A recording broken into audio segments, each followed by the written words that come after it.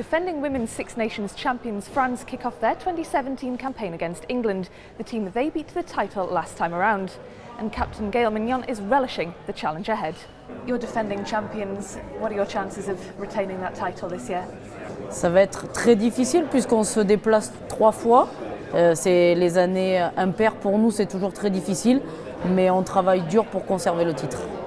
Les, les filles font énormément d'efforts pour travailler chez elles, dans leur club.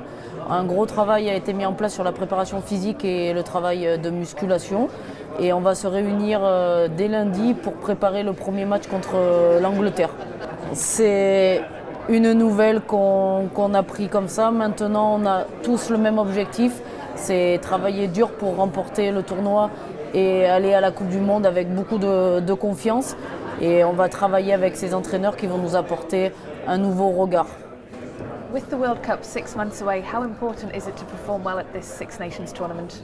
Oui, le Six Nations, c'est toujours quelque chose de, euh, d'excitant, de mythique, euh, important pour nous de, de le remporter. Et c'est un moment privilégié pour se préparer pour la Coupe du Monde.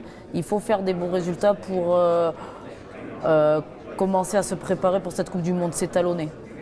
Toutes les années sont, différentes. On fait partie de, des favorites comme toutes les autres équipes. Les Anglaises euh, font partie des favorites. Les Irlandaises, avec une Coupe du Monde chez elles, euh, vont avoir aussi à cœur de, montrer qu'elles peuvent remporter ce trophée. Et on voit que des équipes comme les Galloises ou les Italiennes viennent jouer les troubles faites pendant le, championnat. Donc euh, c'est vraiment ouvert.